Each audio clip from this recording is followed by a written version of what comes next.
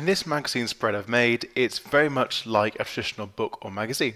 So in InDesign, we've got the front page just as one standalone page, then we go into the two page spread and it goes forward like such.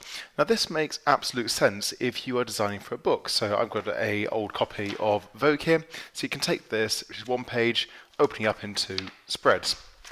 So that makes sense, but maybe for what we're doing with EPUB, we want to do something a bit different. So maybe we want to have the um, EPUB or ebook as a landscape for iPad or for computer screen. So when you see it side by side, we can see first page, second page, side by side there.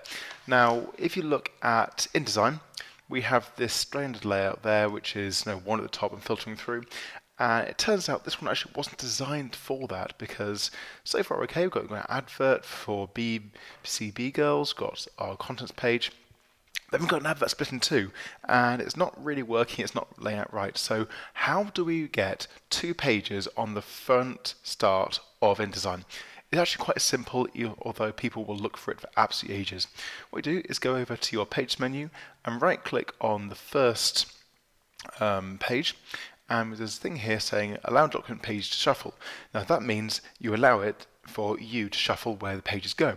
So tick that and you'll see that nothing changes automatically but then we can start to do things. So let's take the first one and just drag it slowly and move it. There you see the cursor changes, keep moving to the left and the cursor changes again. It's now pointing to the left. I release it and I was starting the page on the left. That's very interesting. We can then take our second page and drag it to the top on the right. And we just got to go through and do it manually, bit by bit. So take our pages, lay them out where we want them, and I don't know of any faster way to do this. If there is, then I'd like to know it.